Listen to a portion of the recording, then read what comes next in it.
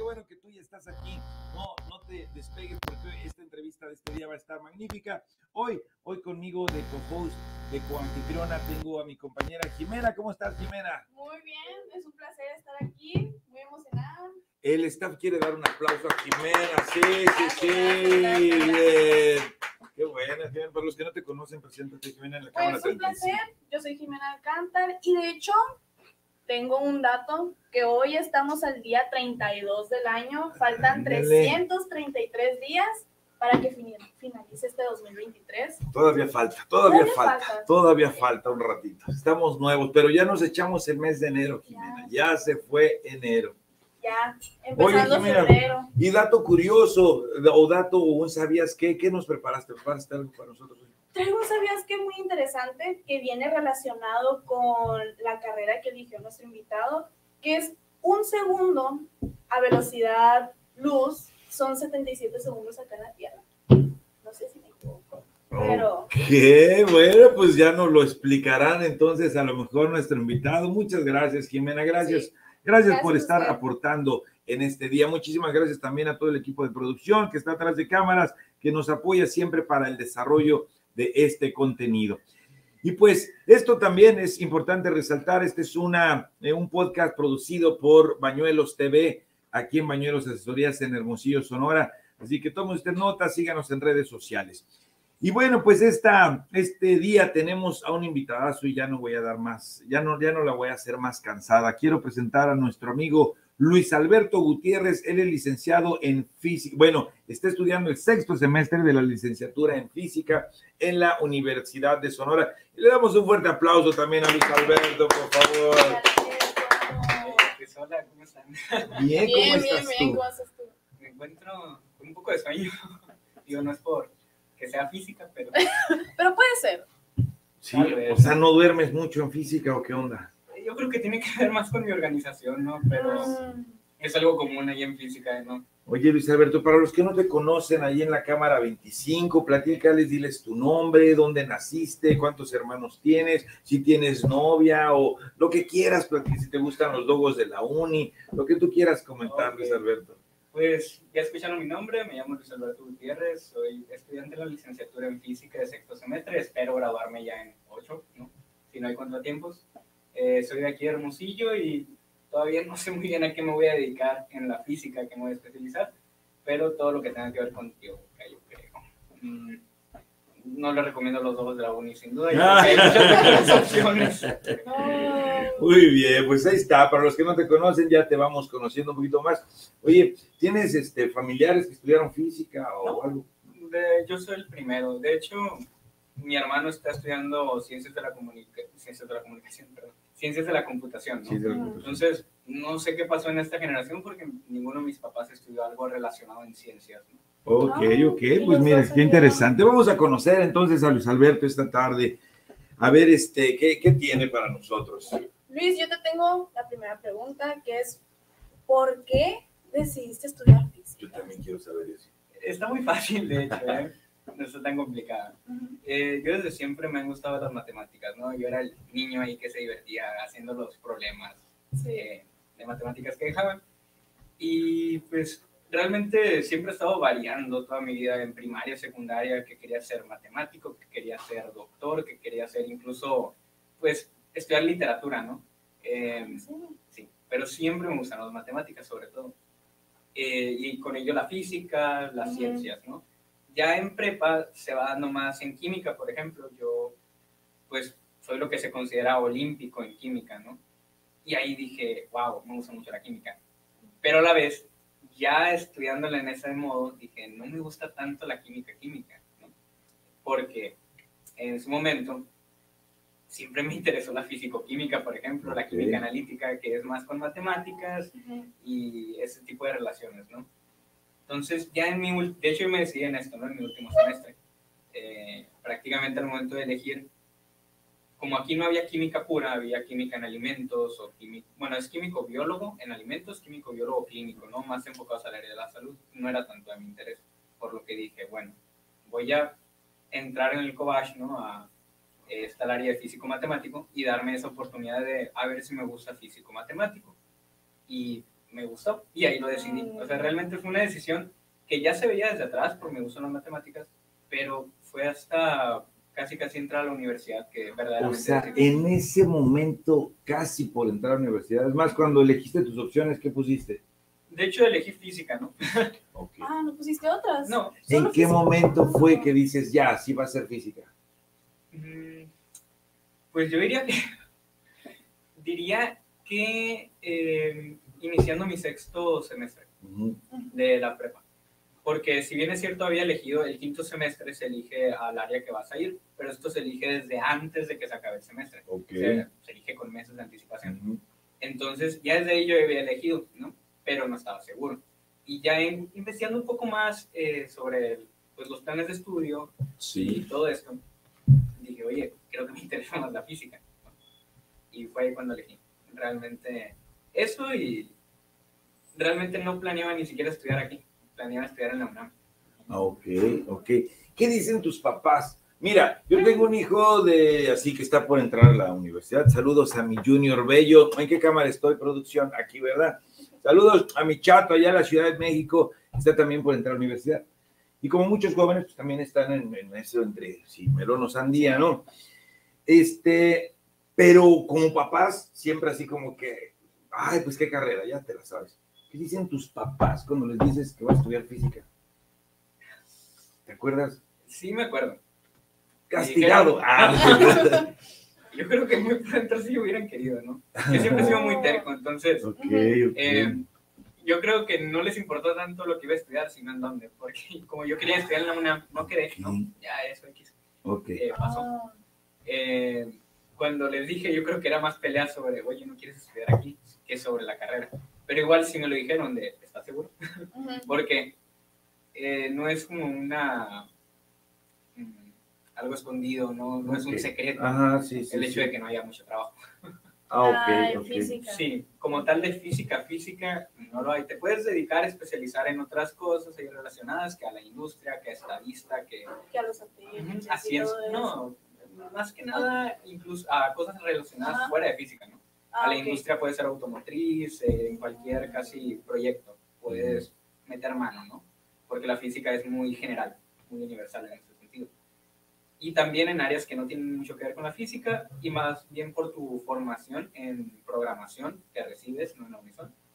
Bueno, en física, pues, Ujú. y también en matemáticas por el hecho de estadista, ¿no?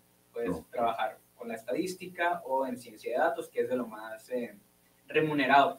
Mira, mira, Luis. Alberto, déjenme meter mi cuchara ahí, perdóname un Jimena, déjenme meter mi cuchara ahí. Yo, yo creo que estamos en la mejor época de la humanidad en la que hace falta la inventiva y la creatividad. Lo que estudies, la tradición te podría decir, pues es que nada más se puede trabajar en esto, en aquello o en lo otro. Sin embargo, día a día nos sorprendemos con cosas que dices, ¿cómo no se me ocurrió eso a mí? O sea, de verdad, echar a volar tu creatividad, sea cual sea tu carrera, de verdad, desde, desde derecho hasta medicina, lo que sea, siempre hace falta crear, siempre, siempre hace falta imaginar cómo puedo satisfacer alguna necesidad o algo con mi inventiva. Entonces, a mí me encanta, me encanta el tema de, de, de ustedes que están en el tema de la universidad y en la época que estamos viendo, porque hace falta ser creativo, más, más creativo. Rompan esquemas. Sí, te decimos, pues mira, vas a estudiar aquí, o sea, derecho, ah, pues vas a ser abogado, tal y tal y tal. Y solo en un despacho o tener tu despacho. Espérate, ¿por qué no creamos algo? Y puedes, yo creo que podemos crear algo, hace mucha falta, estamos en el mejor tiempo de la humanidad, la tecnología ayuda en muchas cosas. Entonces, bueno, fue mi mensaje de la cosa Cartoon Network. Doy los dos con cara de ya que se calle, pero No, no, no, quería dar ese mensaje, sí compañeros. Dale. Jimena, dale, Jimena. Em, la otra pregunta es, ¿cómo fue el proceso de admisión? Uy, esa es una ¿Cómo pregunta muy fue? cortita, ¿eh? ¿Por qué? Dinos, dinos Bueno. por qué. Yo me inscribí en pandemia. Ah, Entonces, ah, no como en medicina o odontología, yo tenía el promedio suficiente para entrar directo. Ah, Entonces, sí. no peleé. Es verdad. Sí, entré directo, en mi caso, ¿no? Ahí sí no hubo mucho problema. Les puedo intentar hablar de la UNAM, que no quedé, digo, si quieren. Sí, sí, adelante. Compártenos, claro. Bueno, yo de por sí no estoy de acuerdo en el método de examen de la UNAM, porque es un examen que se divide en cuatro categorías. Ok. Estas cuatro categorías se basan en cuatro formaciones muy diferenciadas, ¿no? Que ingeniería, matemáticas, químico, biólogo, ciencias de la, eh, ciencias de la comunicación, bueno, todo lo que abarque, ¿no? Y Ajá. aparte creo que también está economía, eh, no sé qué área bien, sí. pero son cuatro en total las que manejan. Sí. Entonces se hacen exámenes muy similares en cuanto a temas que abarcan, pero con mayor enfoque en las áreas a las que A se que especializan. Es decir, son 120 preguntas. Ujú. En mi caso de física matemática había 20 preguntas de matemáticas, 15 de física, no sé, 12 de química y por el estilo, ¿no? Entonces, de estos 120 preguntas, en mi caso eran 20 matemáticas, ¿no? Si alguien se metía a sociales, ya eran 10 de matemáticas. Entonces se distribuía de esta forma la especialidad Ujú. pero igual eh, es un examen demasiado amplio y general que parece más de cultura, ¿no? Es un- termina siendo un examen de cultura en el que tienes que estudiar muchísimo. Sí, por ejemplo, este, no sé, la Revolución Francesa o cosas que a lo mejor... Había unas preguntas que, que yo no encontré después. O sea, yo busqué la respuesta después y no la encontré. O sea, te preguntan un poco de todo, por eso dices que es un examen muy cultural. Efectivamente. Entonces yo no Sí, estoy de no. acuerdo en eso No. porque no se distingue a alguien que va para el área de física matemática por su conocimiento en física matemática. Porque sino- puedes que salgas mal en las otras preguntas y eso ya te afecta. Y por ejemplo en física se notaba mucho, porque aquí no es un área muy pedida. Aquí si entras a física, si quieres entrar a física, ya veremos, ya daré mi recomendación más después. Ah, después. Sí, sí. Pero en la UNAM no es así, en la UNAM es difícil quedar, eh, porque hay muy pocos cupos y hay muchos eh, aspirantes.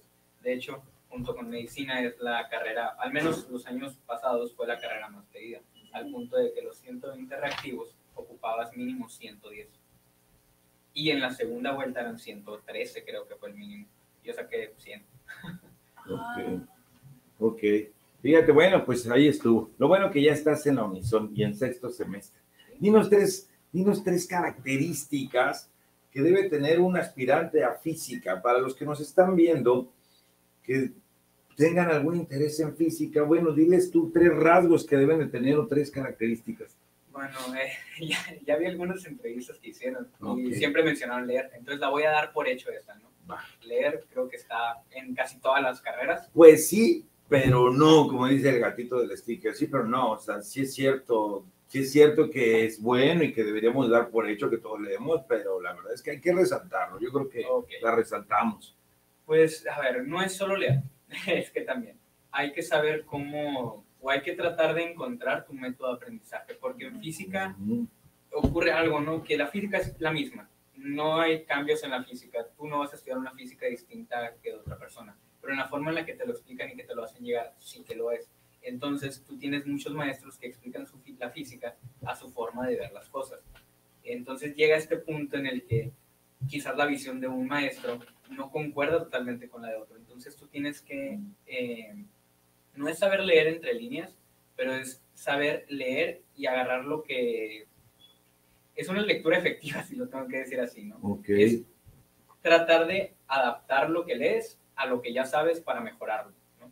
bien, Entonces diría que es la primera cualidad. ok, Eh, diría que otra cualidad es la organización, porque si bien es cierto, no es un plan de estudios tan cargado como lo es medicina, odontología. Voy a hablar mucho de medicina porque mis amigos son de medicina. ok, Es la materia que conozco, es la carrera que conozco, Ajá. más o menos.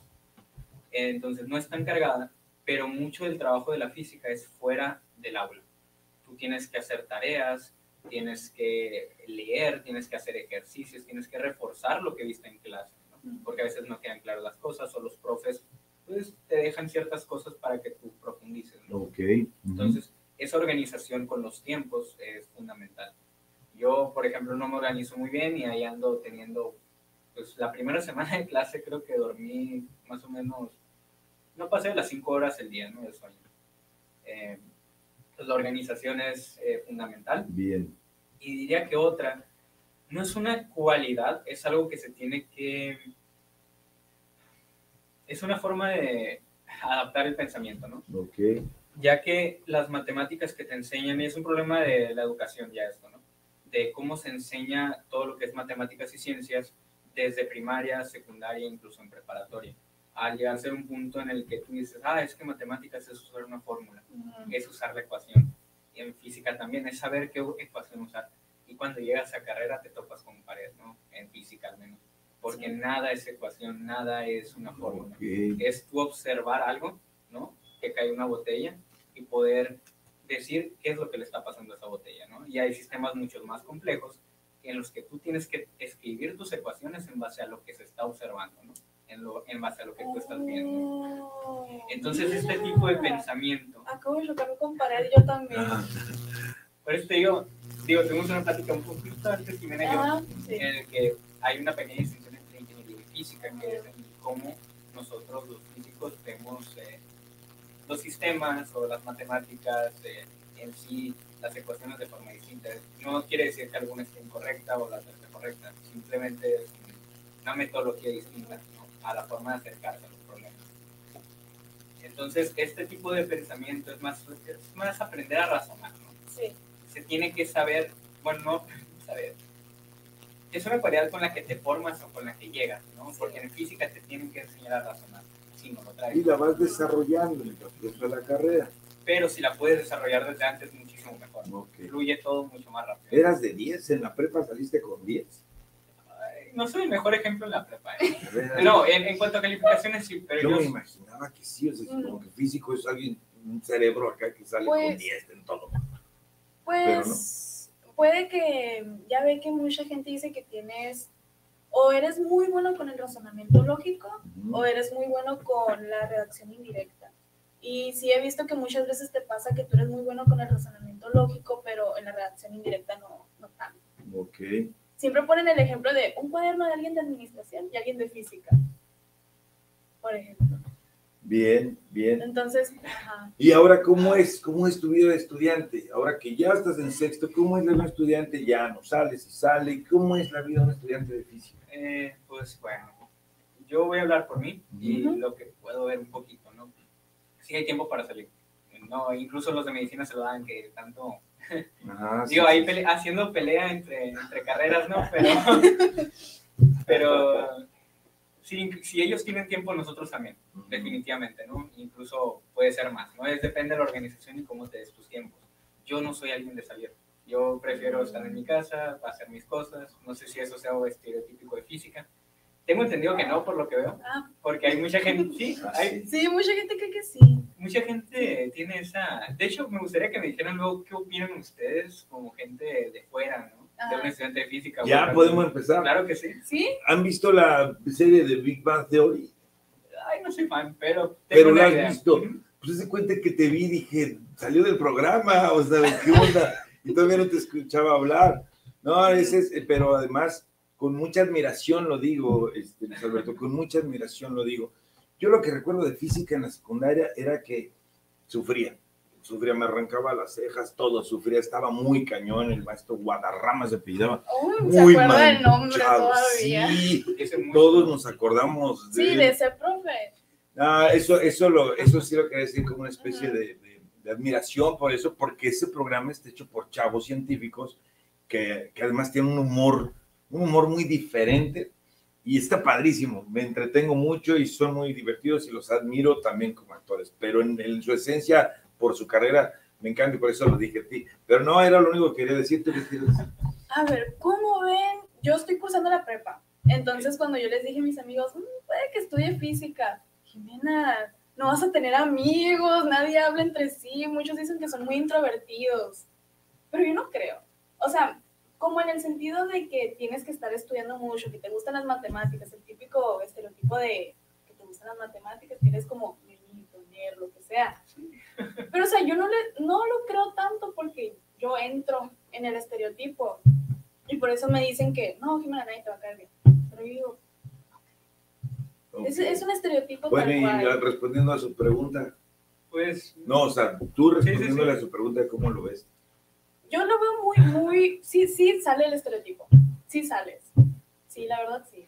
Pero yo, yo tenía la mente muy abierta que no, no toda la gente es como dicen. O sea, de hecho, es que siento que es muy poquita gente que es así. Ujú. Y creo que hay en todas las carreras. ¿no? Tengo la Sí. respuesta, Luis Alberto. Y dice, mira, están hablando con alguien que tiene 49 años. este, soy comunicólogo y hay algo que se llama taxonomía generacional. Ahorita estamos inmersas siete generaciones diferentes viviendo en la misma era, en el mismo tiempo. Desde los famosos, eh, bueno, la generación del silencio, personas de 71 años para arriba es la generación del silencio, ¿vale? De 56 a 70 se llama generación baby boomers. Luego estamos los X de los 80, de los, de los que tenemos entre 41 y 55.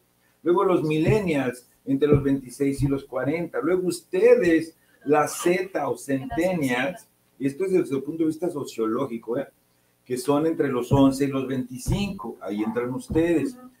Después está la generación touch o táctil, la generación T, los niños entre 2 y 10 y los que nacieron del 2020 para acá se llama generación EP, que significa entre pandemias, porque es la primera de muchas pandemias que dice que viene. Pero no es el tema. Pero lo que sí quiero resaltarles a ambos es que por supuesto que es generacional. Ustedes, su generación Z o Centennial, es una generación súper open mind, súper, ya nació en la globalización, ya el mundo es pequeño.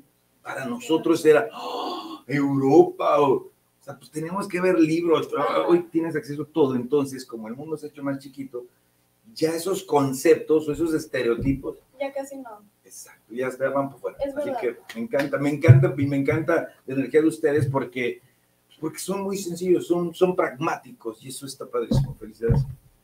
Gracias. Otro discurso, no tengo ganas de echar discursos, ¿no? Sí, porque... Disculpe, producción, hombre, ando muy inspirado. No, pero igual, sí tiene mucha razón, porque esos estereotipos que nosotros traemos son de generaciones antiguas, son de generaciones que ya pasan. ¿Qué edad tienen tus papás? Uy, Mame. 40, son, son generación X. 40, o sea, son casi millennials. O sea, están rayando. Sí, sí, sí. Fíjate, casi tus papás podrían ser mis hermanos. ¿Qué edad tienen tus papás? lo que andaba tratando de pensar. ya la física no lo sí. eh, uy. Me faltan dedos, ¿no? no, tienen. Mm, ay, no sé si ya los cambió. Pero tiene, creo que 50. Okay, bueno, no, 47 creo que es. Ok, de mi edad, pues andan así. Sí, también 49, son gente muy joven. Sí, ahorita me agarraron en curva. Lo Bien, bien, vamos a continuar, Jimena. La siguiente pregunta es, tú ya lo habías mencionado, ¿qué cambios de hábitos tuviste que hacer al entrar a la universidad? ¿Qué fue eso? ¿No? La organización siente que viene entrando ahí. Los cambios no hubo muchos y eso fue un problema. Sí, ah. sí es que como fue inicio pandemia, ah, eh, pues eso, ¿no? iniciabas las clases, te dormías, yo, yo usaba una clase para desayunar. Eh, Sí, la verdad es que no, no soy buen ejemplo en organización hasta este semestre. Eh, por ejemplo, ahorita yo estoy llevando ya una carga académica muy pesada. Entonces ahora sí me tengo que poner a pues, organizar mis tiempos, ¿no? Bien. Entonces siempre es el día más temprano que salgo es a las 3 y entro a las 7 de la mañana. Entonces tengo que hacer tareas, tengo que hacer esto, el otro, tengo que alimentar a mis conejos, no sé, tengo cosas que hacer. Conejos. ¿Cuántos? Dos. Oh, okay. Y tienen, tienen, mucho tiempo, son chiquitos. son, chiquitos. ¿Cómo se llaman? Ay. Ay, no los No, es, es, que uno tiene un nombre muy raro. Los tienen dos nombres muy raros. Uno se llama Ramiro y el otro se llama Baltasar. Ah, Raros, así se llamaban mis tíos, los hermanos de mamá, exactamente igual. Nadie le pone, nadie nombre de, de persona un conejo. Y yo, chale, mi tío Ramiro. Bien, oye, no, Perdona pues. a todos los Ramiros. No, no, no. Y a todos los Baltasar. me encanta, me encanta. Este, pues ahí está, ese ha tenido que ser, o sea, readaptarte, ajustarte y hacer eso ahora. Sí, más que nada es por eso, ¿no? Por el hecho de que, ah, hay algo aquí que ya quiero mencionar. Si tú eres alguien que no le gustan los exámenes, que la pasa horrible en los exámenes, no entras a física.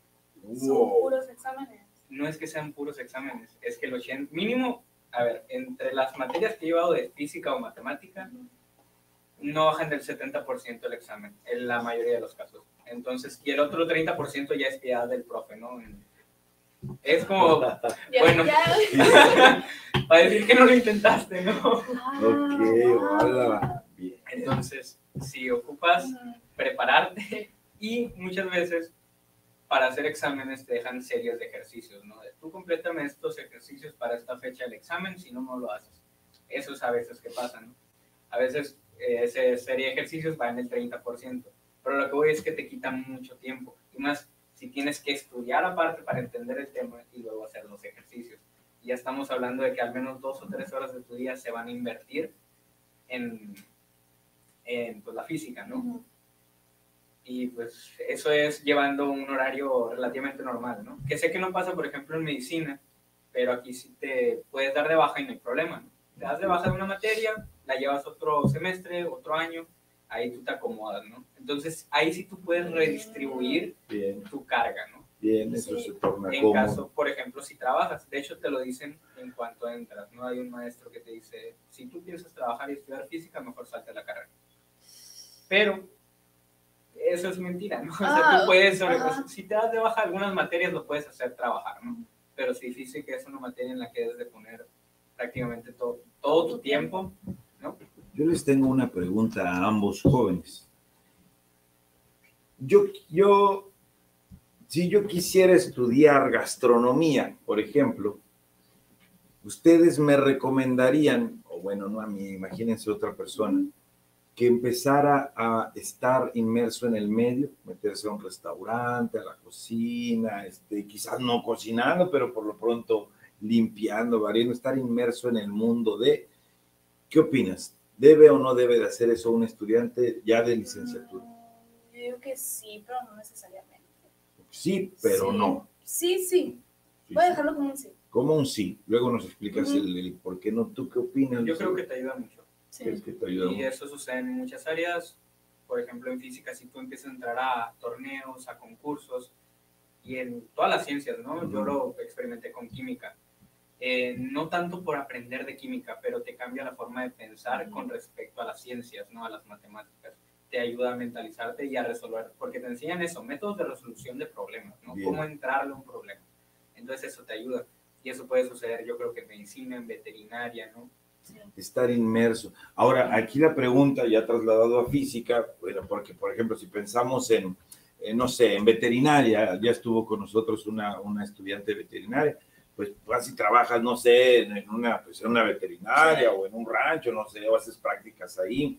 Si estás en gastronomía, un restaurante, pero uno que estudia física, ¿a dónde va y dice, oigan, quiero este, practicar aquí? De hecho, esa es mi queja con el servicio social. ¿Qué voy a hacer? ¿En dónde vas a hacer el ¿Qué quieren que servicio? Ah, Eh, pues de hecho creo que justo hoy el spoiler, ¿no? Las. Olimpiadas, los concursos, a todo lo que te puedas meter. Si te gusta, tú inténtalo. No, no tienes que estar, no tienes que saber mucho para intentarlo, ¿no? Y si llegas a quedar, ya en las Olimpiadas eso es lo que pasa, ¿no? Yo entré sin saber nada y ya ellos mismos te van enseñando y tú pones de tu parte, ¿no? No importa si no llevaste una educación que tú consideres buena hasta ese momento, ahí te van a enseñar, te van a ayudar. Entonces, si te interesa, métete. No pierdes nada. Oye, regresando a tu pregunta de hace rato de cómo te vemos o algo así de, de lo que- Tu pelo está padrísimo, ¿eh? Está padrísimo. ¿Así naciste o entraste a física y se te puso de ese color? Pues ya es, una consecuencia. física, ¿no? Más, más o menos el segundo semestre aparece. No, ya no. No, yo sigo todavía No, sí, dudando. sí, se ve muy bien. No, bien. está muy fácil, lo estoy considerando. Bien. Oye, este, ¿qué onda? Si no hubieras sido física, ¿qué otra carrera hubieras elegido? Pues como le digo, yo creo que... Medicina. No, química. Ah, Ah, química. verdad. Pero realmente, si ahorita mismo tuviera que decidir, matemáticas. Porque siempre me gustan las matemáticas, pero nunca las... O sea, las consideré un momento, ¿no? Pero es curioso que a pesar de que siempre era lo que me gustaba, lo que nunca me fallaba en, en- de las materias que siempre me gustaban, ¿no? Eh, nunca las consideré para entrar, ¿no? Ok. Y ahorita ya que estoy en física y, y ya manejo más matemáticas, me he metido más, digo, definitivamente entraría. Pues si estudias matemáticas, ¿cuál sería como el ámbito laboral? ¿Ser maestro? ¿O pueden ser más cosas? De hecho, también? también es Sí, el ¿no? mito de física. Que Sí, siempre dicen que si estudias física vas a ser profe. Siempre dicen eso. Pero no. también. Pero no, no. hay más áreas y eso te das cuenta al entrar, ¿no? Te explican más Sí, cosas. qué bueno. Y lo que les decía hace rato, ¿no? Rompamos esquemas, más ustedes. Eso déjenselo a las generaciones eh, ya de antaño, Sí. pero ustedes pónganse a crear cosas, pónganse a inventar cosas con el conocimiento que tienen. Muy bien, seguimos, Jimena. ¿Qué otra Bueno. tenemos? La siguiente es, ¿cuál ha sido tu reto más grande y cómo lo superaste? Mm, Pues es, es con lo que le decía de los horarios, ¿no? De la organización. Yo siempre he sido, en la escuela, en la prepa nunca, nunca fui de malos promedios, siempre fui de 9, 10, la verdad. Pero porque se me daba, ¿no? Eh, todo lo que es la escuela se me ha dado, todo lo que es lo social y artes y no se me da, ¿no? Pero lo que es la escuela, afortunadamente se me dio. Entonces nunca le batallé, nunca necesité de ser eh, organizado, de, de, tener pues esta dedicación, ¿no? Al estudio. Eh, y eso fue un, un parteaguas ¿no? en la carrera porque ya no me daba, ¿no?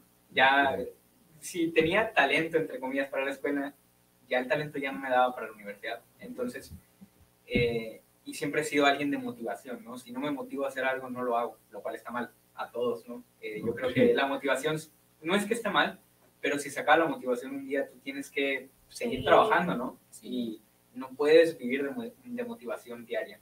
Debes vivir más de constancia. Exactamente. Eh, entonces yo creo que ese fue el mayor reto, ¿no? Sobre todo en pandemia, porque ya tres meses de pandemia, tres semestres, tres meses, ¿no? Tres semestres, perdón, de pandemia y yo ya no aguantaba, ¿no? En el sentido de estoy harto de las clases en línea.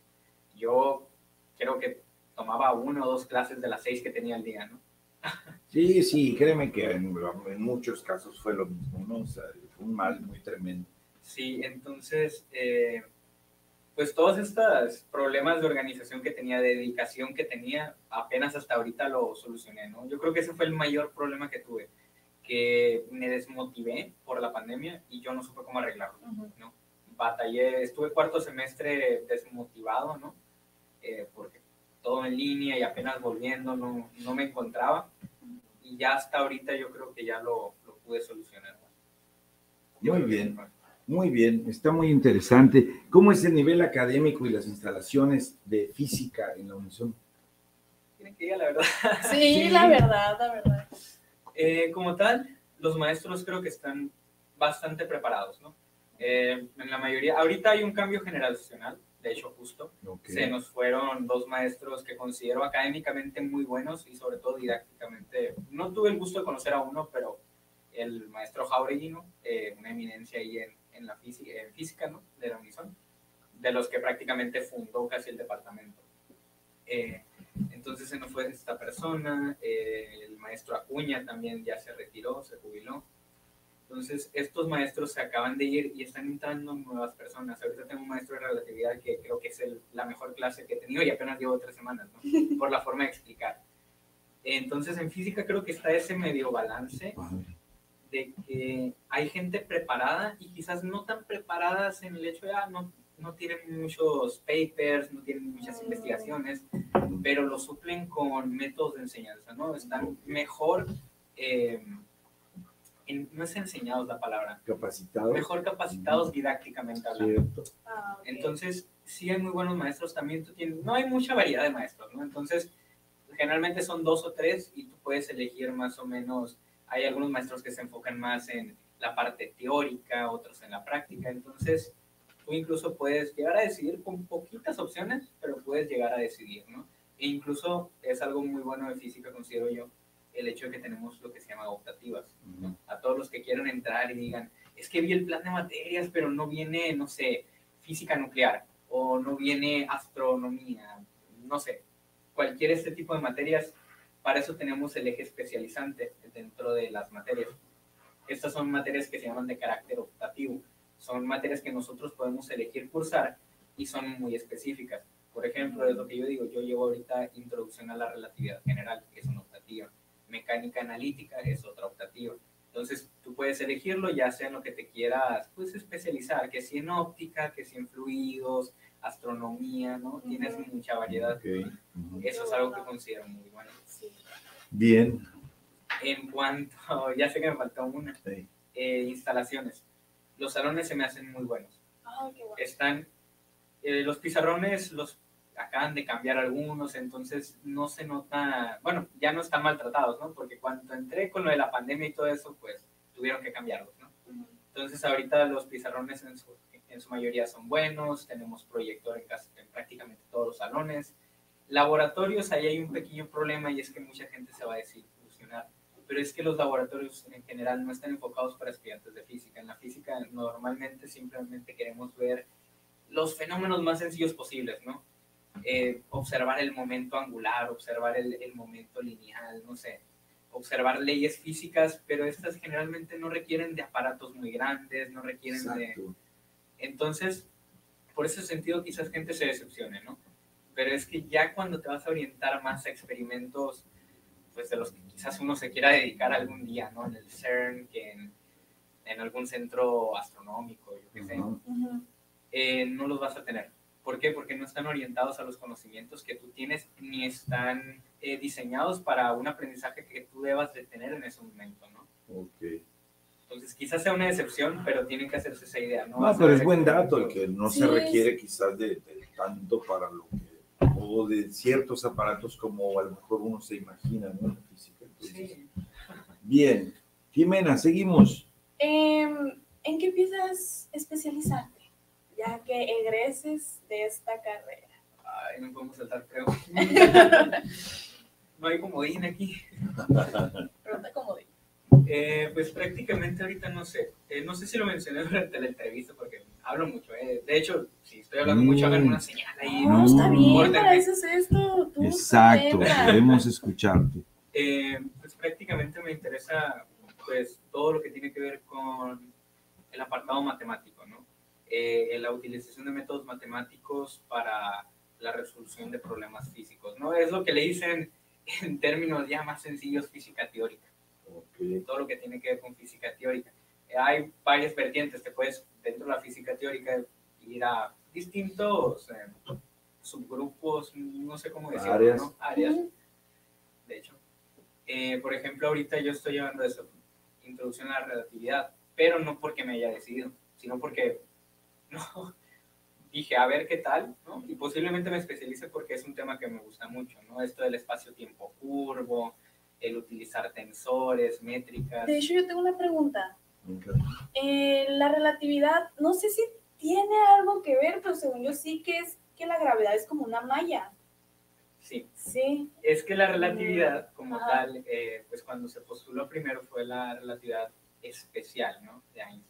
Ah, que sí. prácticamente es eh, una generalización al principio de relatividad de Galileo. Eh, como postulado inicial o principal es que le, eh, un hecho experimental, ¿no? Que es de ahí de donde nace. Que la luz no se puede, bueno, no es que no se puede, siempre se mueve a cierta velocidad, una velocidad c. ¿no? Y esa ley siempre aplica. Pues más que una ley es un fenómeno que ocurre siempre, ¿no? En cualquier sistema de referencia y es algo contraintuitivo. Porque si nosotros vamos, no sé, en el camión, en un carro. en un Uber. en un Uber. No, en un siempre te pone el ejemplo de un tren, pero nadie deja en Ay, que lanzas una pelota. Entonces, sí. si, si tú estás, digamos, en un carro convertible, ¿no? Puedes, viajar, eh, puedes bajar el, la capota. la capota y ahí está el viento, ¿no? Digamos que ya no hay viento, para hacerlo más sencillo. Si tú estás viajando a una velocidad, digamos, constante, ¿no? A 100 kilómetros por hora, de ahí no subes ni bajas. Y tú dejas caer un objeto fuera del carro, tú vas a ver que el objeto se mueve junto contigo. En el caso de que no haya viento, de que no haya alguna condición que esté afectando esta botella, uh -huh. ¿no? Eh, se va a seguir moviendo a esa velocidad. Ese es el principio de relatividad prácticamente, ¿no? Eh, si no que, existiera qué, el viento. El viento, ajá. Algo externo que provoque que esta botella deje de moverse, ¿no? Okay. Es lo que es la conservación del momento lineal. Bien. Entonces, el principio de relatividad nos dice que dos sistemas de referencia, eh, en dos sistemas de referencia inerciales se cumplen las leyes de la física. Esto fue un error, se cumplen las leyes de Newton, porque, por ejemplo, con las ecuaciones de Maxwell, que son las de electromagnetismo, no funcionan. Si tú tratas dos sistemas de referencia, sistemas de referencia inercial, ¿no? Que simplemente quiere decir que uno se está moviendo a velocidad constante del otro, nada más. Okay. Entonces, si tú tomas un sistema que no se está moviendo y otro que se está moviendo con una velocidad constante, tú realizas experimentos ahí de Newton, deberías de ver los mismos resultados en los dos. No importa en dónde estén, si se están moviendo con velocidad constante, si uno está rotado, no importa, ¿no? Eso es lo que nos dice, el, es la covarianza clásica, ¿no? Lo que se llama. Ya en el de relatividad especial se corrige este problema que había con las ecuaciones de Maxwell. ¿Por qué? Porque las ecuaciones de Maxwell cuando se ponían en sistemas eh, que estaban, que se diferenciaban por un, uno que viajaba en una velocidad constante, ¿no? O sea, uno viajaba con velocidad, el otro se quedaba quieto. Ahí, si se hacían experimentos con las ecuaciones de Maxwell, no funcionaba. Entonces, ya luego experimentalmente se vio que la luz se movía igual en cualquier sistema de referencia, ¿no? Eso es, para eso es el ejemplo del carro. Si tú vas en un carro y sueltas una botella, se sigue moviendo tu velocidad. Eso quiere decir que la botella tiene la velocidad de 100 kilómetros por hora. Y si tú lo lanzas, tiene 100 kilómetros por hora más la velocidad a la que lanzaste la botella. Esto es no solo contraintuitivo, sino que no funciona con la luz. Por ejemplo, si tú viajas ¿no? en una nave espacial. Sí, sí. Ya viste mi cara, Camilo. Incluso explicarlo para mí es complicado, ¿no? Porque ando pensando. Eh, si tú viajas en una nave espacial, digamos, y tú lanzas una linterna, ¿no? Tú dirías, pues como en el ejemplo del carro, la luz a qué velocidad va. Va a la velocidad de la luz más la velocidad de la nave, ¿no? Pero eso no ocurre, ¿no?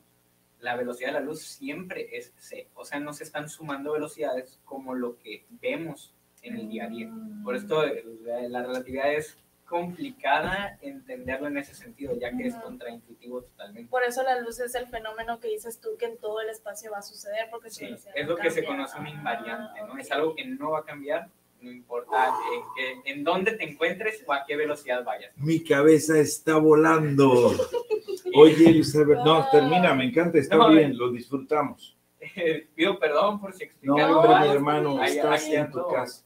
Es más, déjame decirte que vienen cosas muy interesantes para este podcast y, y tú estás aportando cosas muy buenas. Sigue, continúa. Créeme que es muy bueno. Continúa. Simplemente me iba a disculpar con cualquier físico, matemático y que ah. algo mal. Estoy tratando de, decirlo de la forma más sencilla posible, ¿no?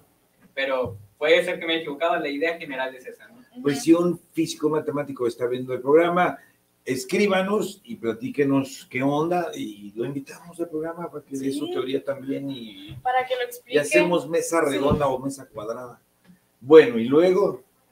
¿En qué sentido? No, ya es todo. Sí, más o menos. Más o menos. Eso es, la, es lo general de... ¿Entendiste que se va a especializar? Ah, bueno, no, no, había una otra pregunta. Esa es la relatividad especial. Entonces, a partir de todo esto, se empieza pues a estudiar lo que es el espacio, ¿no? En el sentido de que había algunos, todavía no he llegado y por eso no me quiero meter a explicar. Ah, no, está bien. Entonces, pues simplemente se tiene que cuadrar la teoría y se dan cuenta de que el espacio no es plano.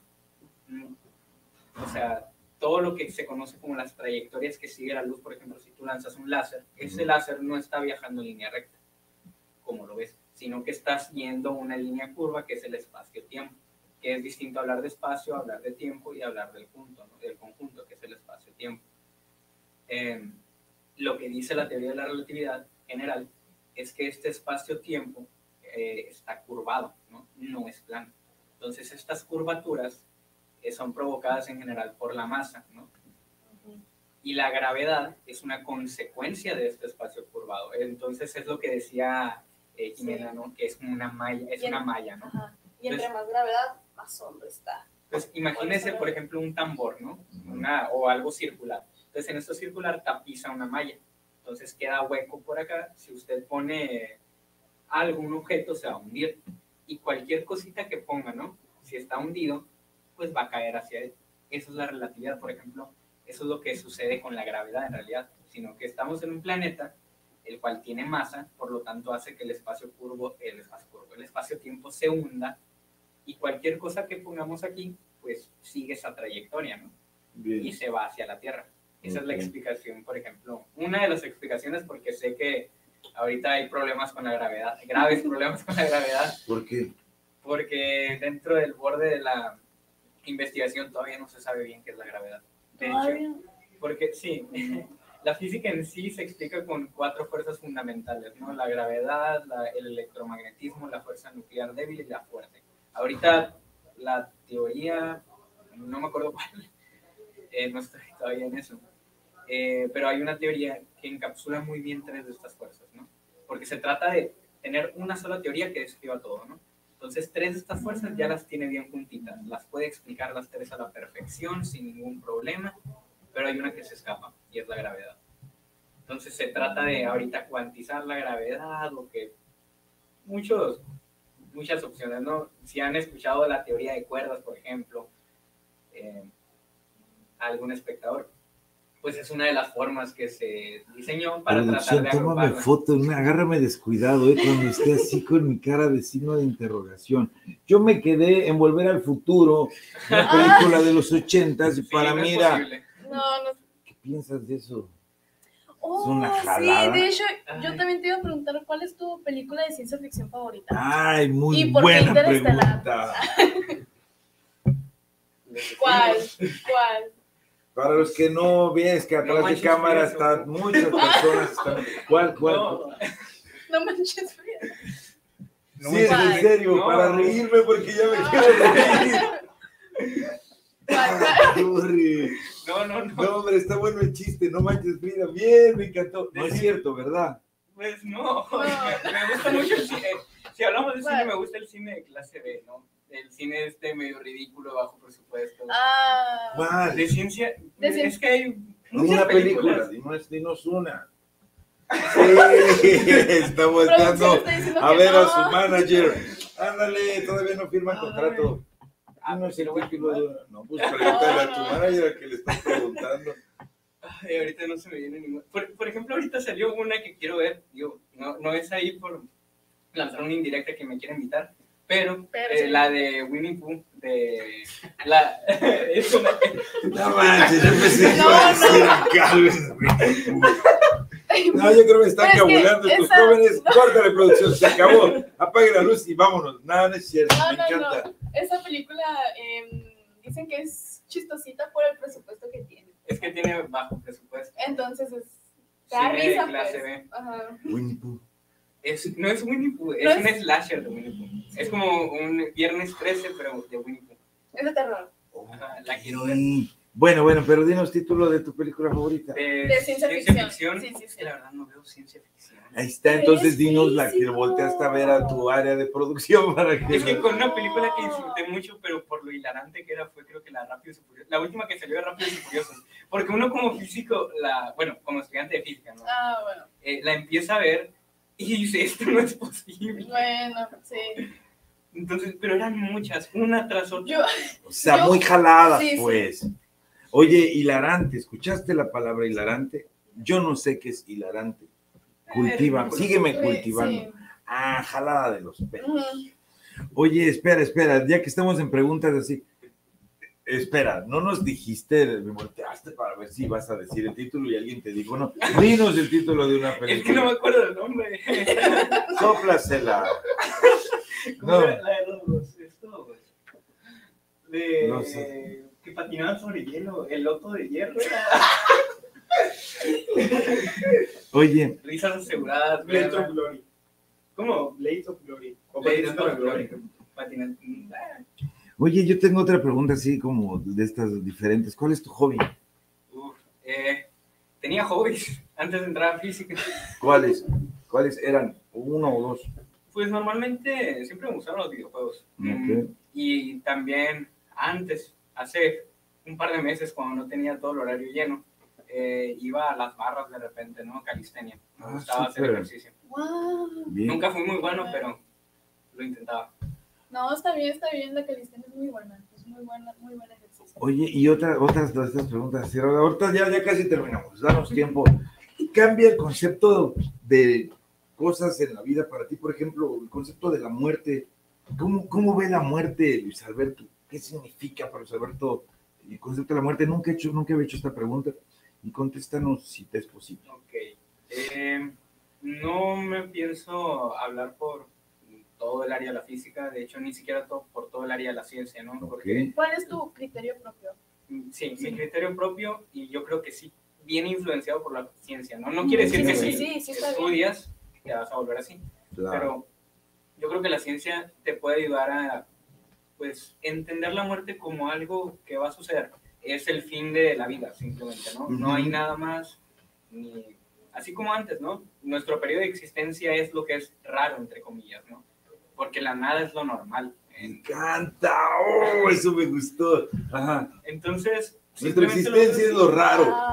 La nada es lo normal. O sea, tienes la oportunidad de estar aquí haciendo, pues, tu desorden, ¿no? Ajá. Y algún día se va a acabar, así de simple. Es Sí. lo que yo creo. ¿Dónde, Tiene mucho ¿dónde sacaste esa frase? Perdón, déjala a punto. ¿Cómo fue? Lo raro es estar aquí. La nada es Nada lo normal. Síguele Wow. preguntando. Yo mientras tomo nota. Porque tiene sentido porque ya ve, ya ves que la historia nos enseña todo lo que pasó antes. Nosotros no lo vivimos, para nosotros no es nada. A eso te refieres con que la nada es lo normal, porque todos esos años nosotros no. Yo creo que también podría ser. Yo me refería simplemente a nuestra propia existencia Ajá. como un ser, ¿no? O sea, yo, Luis, pues soy algo raro en la existencia del universo, ¿no? Pero sí, yo creo que toda la humanidad en ese sentido cabe dentro, ¿no? Toda la historia de la, humanidad e incluso de los seres vivos. Porque lo común, eh, estadísticamente hablando, en los planetas es no encontrar vida, es no encontrar células, no encontrar Eso ni es siquiera... verdad. Yo vi, yo vi un video que decía, ¿por qué nunca nos han visitado los alienígenas? Ok. Y una teoría es que nosotros, que no hemos encontrado bien ningún otro planeta porque nosotros somos los primeros que han cruzado esa barrera. Somos los raros. Que los alienígenas podríamos ser nosotros. Es una teoría. ¿Qué opinas de esto que acaba de decir la compañera? Pues hay que tener cuidado con las palabras teorías, no es regaño. Habla Que simplemente, no, Aprendemos, claro.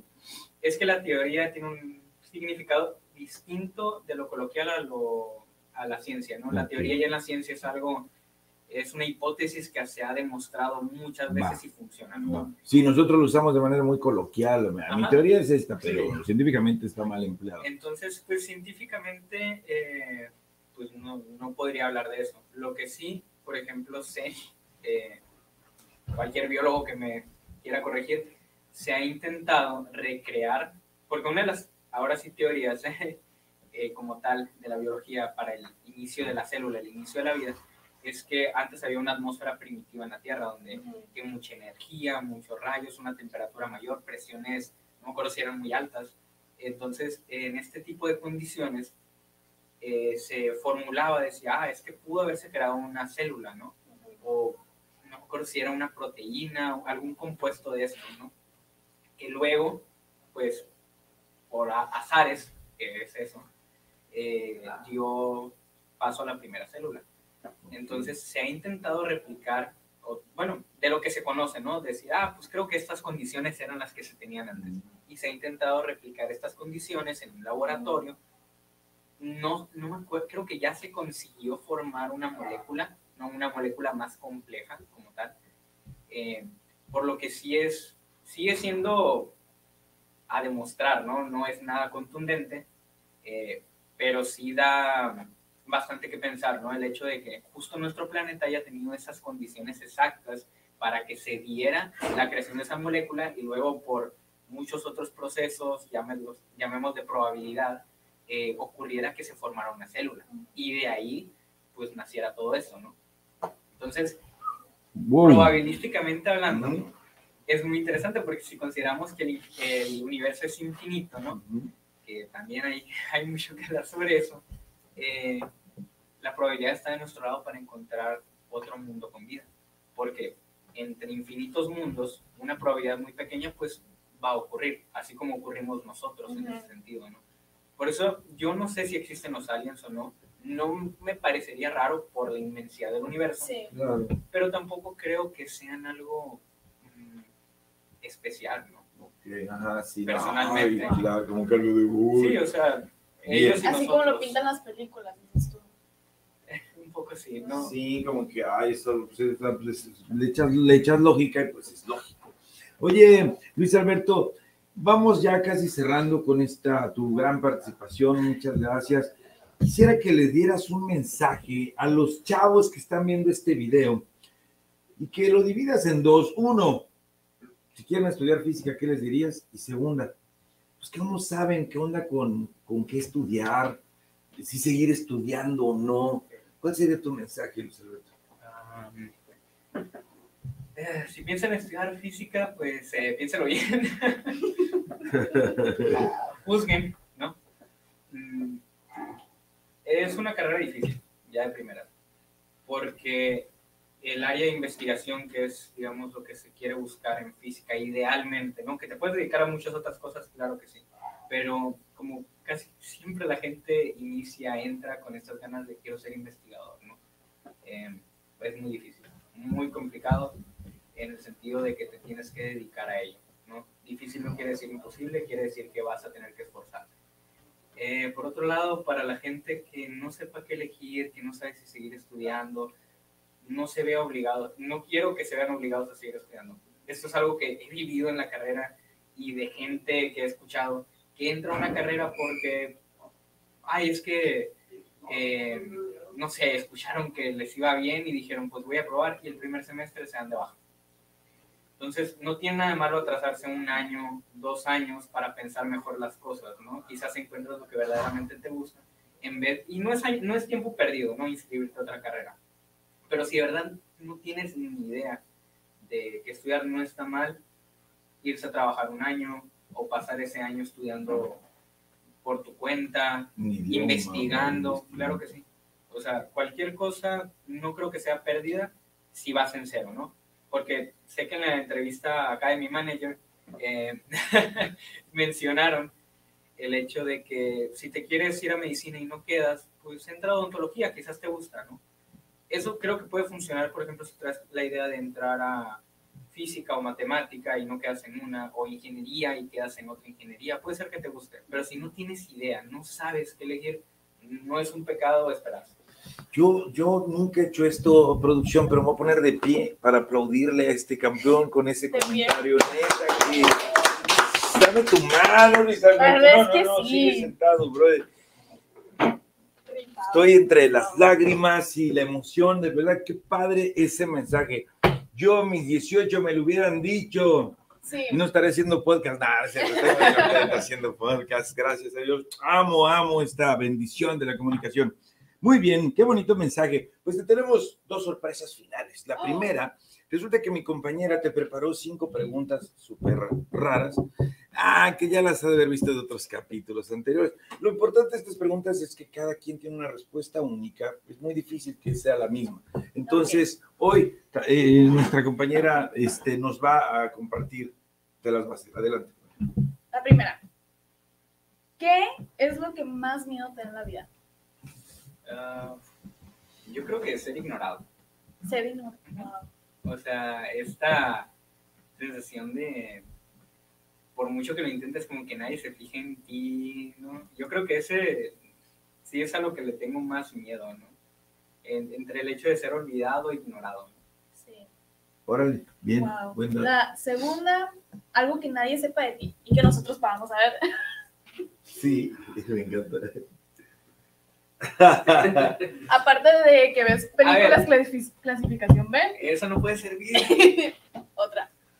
Sí, eso ya la Uy, pues, Algo que nos quieres compartir, de verdad. eh, ah, que mi récord sin dormir es, creo que 40 horas. Ok. No. Bien.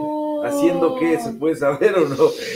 Eh, me puse a hacer una serie de fluidos, no, eran fluidos, de ecuaciones diferenciales. eh, quedaban dos días para terminarla, ¿no? Entonces salió en esos dos días. Bien, qué buen dato. ok. Pero lo sacaste, lo sacaste. La otra sería, ¿cuál sería tu superpoder? El que te gustaría tener. Es muy ¿Qué buena, superpoder yo te gustaría escucharlo. ¿Y por qué? Y por A ver, yo no me quiero explayar mucho en esto, ¿no? Porque de repente sí pienso en física la, po- la posibilidad de hacer muchas Ah, cosas, bueno, ¿no? sí. Con un poder relativamente sencillo que muchos dicen, ay, quizás no sirve para tanto. Pero yo creo que la supervelocidad, ¿no?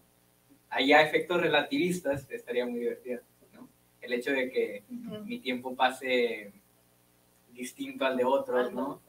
Eh, significa que puedo aprovechar más el tiempo real del mundo en base a mí. ¿no? A ver, ponemos un ejemplo para entender ese superpoder. Eh, de- pues mencionaron antes la película de Interestelar, ¿no? Ujú. Eh, ¿Es la de Volver al Futuro? No. No, eso. ah, bueno, para la audiencia, ¿no? Interestelar es más de esta gente. Ah, vale, vale. Yo creo que ya la han visto. La cosa es que la relatividad especial por lo- el- los efectos de la luz eh, quiere decir, comúnmente pensamos que el tiempo es absoluto, ¿no? Que un minuto aquí es un minuto en cualquier lado. Ok, Eso no es verdad. ok.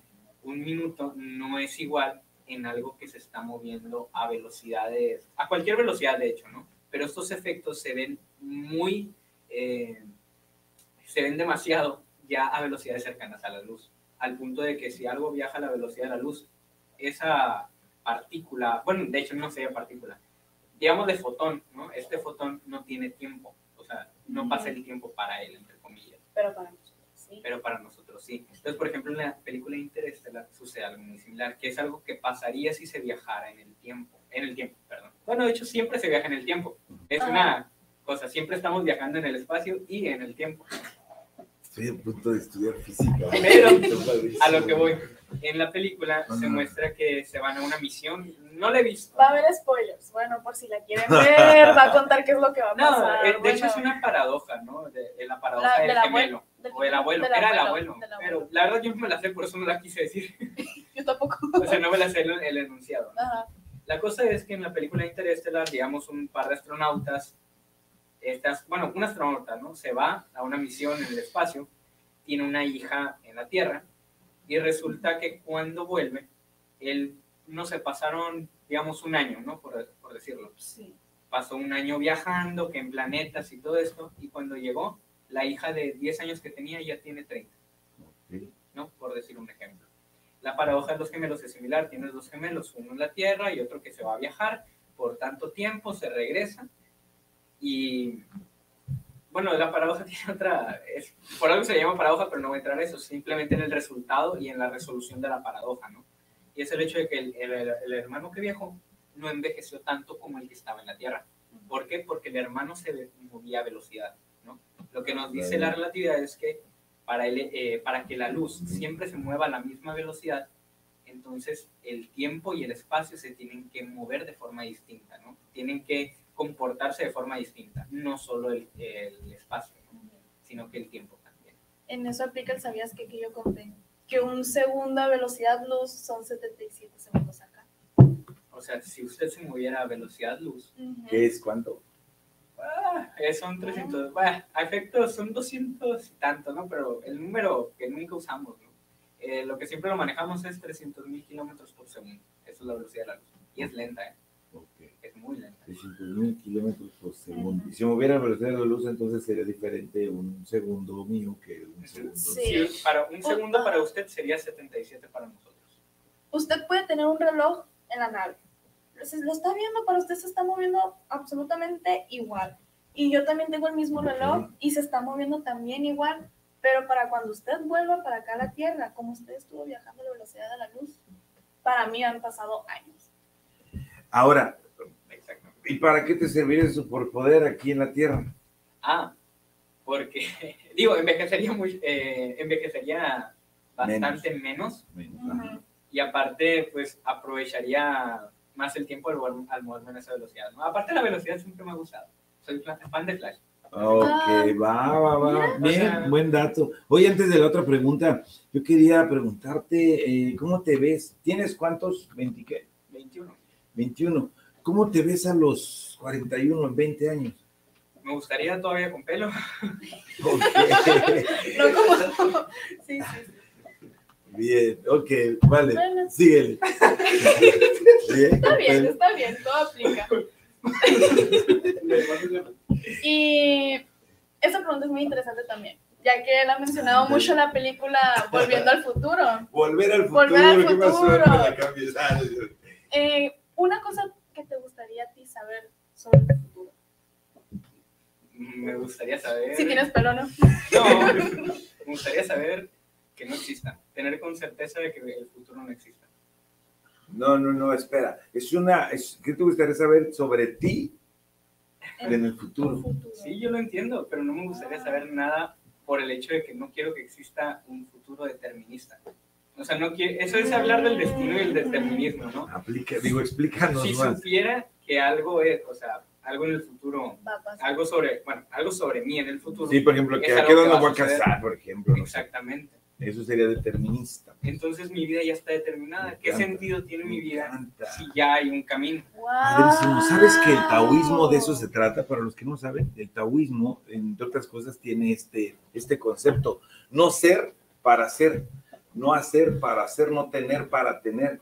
Entonces me encanta el dato. No, hombre, me está volando la cabeza. Tiene mucha Alberto. razón, ¿eh? Tiene mucha razón. Oye, ¿y con y tomas? ¿Tomas No. cerveza, vino, algo, no? Imagínate con unas cervezas volaríamos todos. Sí, Producción, No, traigas no, un no. 6. Traigas un 12. Acá mi Oye, manager, tome por mí. órale, órale. Está bien, está bien. Oye, bien. Siguiente. Si supieras que mañana vas a morir, ¿qué harías hoy? Ya no es determinista, Ok. ya no es destino, ya queda en ti. Sí. Ah, complicado, ¿no? Mm, Sí, Pues, a ver, eh, no creo que haría algo como viajar, porque viajar son seis horas y luego, ¿qué voy a disfrutar, no? no tienes el superpoder. Sí, Mm, pues yo creo que va a ser muy típico, ¿no? Pero pasar tiempo con la familia, con los amigos. Bien, bien, ah, está bonito. está bien. Muy bien, eso nos hace conocerte más, de verdad, y lo agradecemos mucho. Y bueno, vamos a jugar a respuestas rápidas. Lo primero que se te venga a la cabeza después de la palabra que yo te diga, son 10, está muy sencillo, quizás 11, quizás 12. Soy muy malo con esto. Este, lo relax, primeritito. Ahora sí, hay un botón que tiene producción y si te tardas más de dos segundos, eh, te da un toque en el asiento. ¿eh? Sí. Listo, allá vamos. Política, Mala, sonora, aburrido, familia, divertida. universidad, Ah, cansancio, religión, no me gusta, Dios, no creo, amor, no hay, carne asada, no me gusta. novia, bañuelos, asesorías. Contrátenme. ¡Ea! Un aplauso, por favor, un aplauso. Sabe esas cosas. Isabel, qué, qué padre entrevista, le hemos Wow. disfrutado mucho. Me gustó mucho. Cierre, cierre, compañera, lo que quieras. Vamos a cerrar esta entrevista. ¡Wow! Que mi cerebro quedó, miren, me está palpitando, yo creo. Es demasiada información por procesar. Un placer. Muchas gracias por venir. Y bueno, vean en la siguiente entrevista. Va a estar muy interesante. Esta me gustó mucho. Muchas gracias por haberme invitado. Me Con gustó mucho, mucho, mucho, mucho. Lo hiciste muy bien, Jimena. ¿Algo más Igual, que quieras igual, agregar? igual. Ah, pues échenle ganas, ¿no? Eh, sea la carrera que quieran estudiar o eso, si no saben muy bien a qué dedicarse, no es presión. Y si ya lo saben, pues simplemente hagan lo que les gusta, ¿no? También, si están estudiando algo, no les termine de convencer, pueden salirse, no están obligados. Digo, también, ya están en sexto semestre, les quedan dos semestres para graduarse, pues termínenla, de algo les va a servir. Cierto. Pero si están en primer, segundo semestre, no pasa nada por decir, sabes que no es lo mío, vas a vivir infeliz por otros tres años más haciendo algo que no te gusta, pudiendo tomar otra decisión.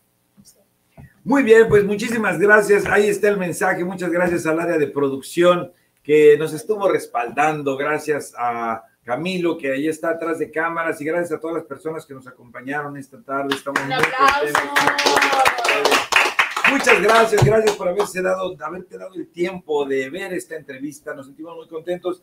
Estate pendiente de nuestro siguiente capítulo. El día de mañana, bueno, en la siguiente entrevista tenemos a un, eh, hoy fue un estudiante de física, mañana tenemos a un Artes plásticas. Artes plásticas. artes plásticas y artes escénicas, creo, mañana. Va a haber, Wow. va a haber contenido interesante. Así que muchísimas gracias. Esto fue el podcast y ahora qué sigue, donde nosotros te orientamos y tú decides. Nos vemos en la próxima. Soy Juan Carlos González R. Esténse pendientes. Un fuerte abrazo. Nos vemos.